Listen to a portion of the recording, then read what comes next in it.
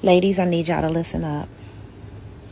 At first, I was hesitant about making this post, but I know bringing awareness to the problem can bring change. Recently, I was approached by two young girls in Clinton asking for help.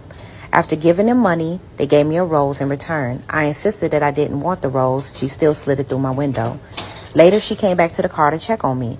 Ironically, something told me to look at the rose. It was filled with a powdery substance. It has been confirmed that in similar situations in this area, it is a possible fentanyl in the rose. They have been putting drugs in the flower, waiting for someone to sniff them, and the substance, sniff the substance. And once they pass out, they take them for sex trafficking. The girls were waiting for me to sniff the rose and inhale the substance in the rose. Sex trafficking is real and it is happening in Clinton, Mississippi. I let my guard down, and it is possible that I could have been affected by this for the rest of my life. Please be aware of your surroundings and be careful. They are using the roses as a symbol for sex trafficking. That's that's that's crazy. But I I don't put nothing past anyone in these times.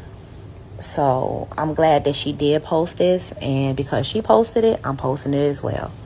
Y'all be safe out there. Ladies, I need y'all to listen up.